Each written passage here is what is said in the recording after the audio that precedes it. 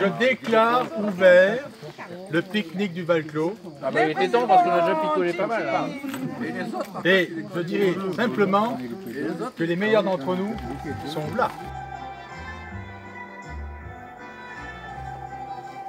Profitez de ce moment de convivialité, apaiser des tensions découvrez-vous, de ce côté. avec. augmentez votre réseau, soyez heureux, Voilà chantez.